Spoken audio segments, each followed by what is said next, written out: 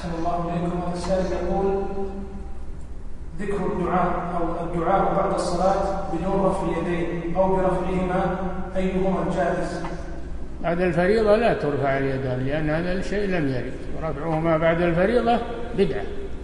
أما بعد النافلة فلا مانع منه. نعم.